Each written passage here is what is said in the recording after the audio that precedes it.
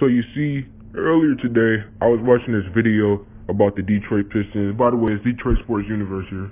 Um, I was watching the video about the Pistons, and they asked the question, should the Detroit Pistons trade Andre Drummond? And the person who asked the question said yes.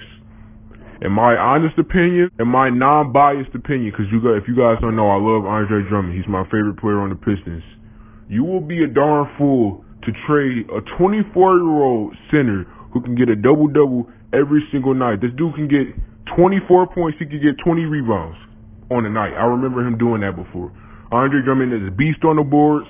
Um, sometimes he plays lackadaisical on defense, but he still, when he tries to play defense and he tries to block shots for real, he can do it. Like sometimes, I remember earlier in the season, he'll just let the, like he'll let a smaller defender like someone like DJ Augustin throw up a floater and he won't even go up to contest.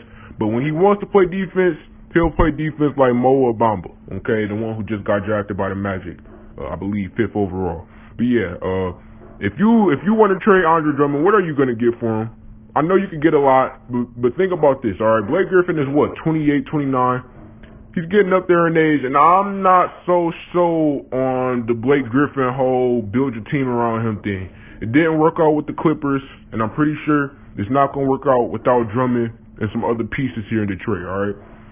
Don't I don't believe in this Blake Griffin he'll carry us for the win narrative. I I just don't. I'm sorry. But anyways, yeah, uh, if you're gonna keep Drummond, you're gonna have to trade somebody off this roster or release some other players off this roster because right now we'll make the playoffs with this team, but we're gonna get bounced out maybe in the first round. We might make it to the second round.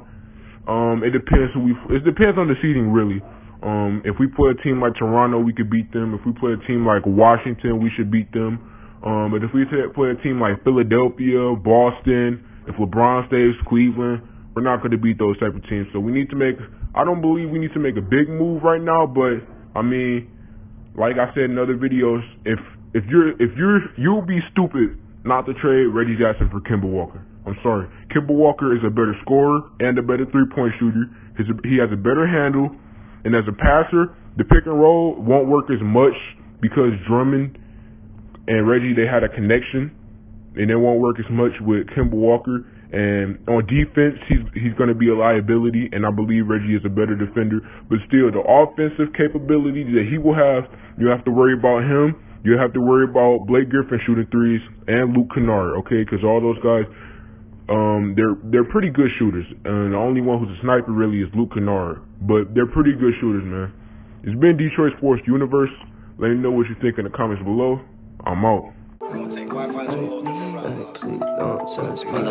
I need it. Lost myself, greedy. Spent my, please don't me, baby. I need it. Lost myself.